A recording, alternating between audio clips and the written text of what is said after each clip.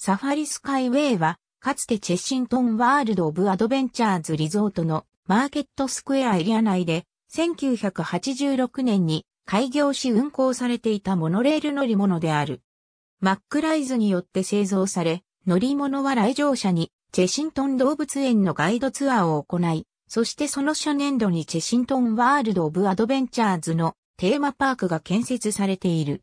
乗り物は2015年7月下旬に突然閉鎖する前までに約30年間稼働し続けていた。2016年1月上旬に乗り物向けのメンテナンスと連続トラブルが原因で乗り物を引退させると当パークが発表した。サファリスカイウェイはチェシントンワールド・オブ・アドベンチャーズでの最初の乗り物の一つとして1986年に開業した。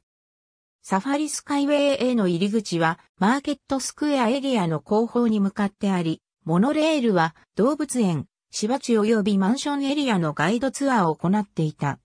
乗り物は移動に約8分かかり、乗客に対する高さ制限は最大1.96メートルであった。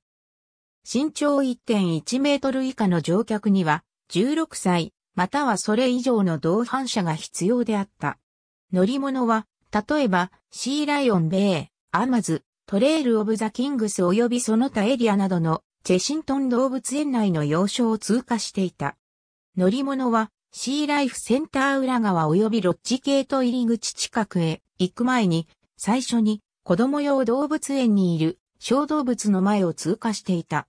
乗り物はテーマパークを経由して駅に戻る前に続けてゴリラ、ライオン及びアシカのすぐ近くを通過していた。ありがとうございます。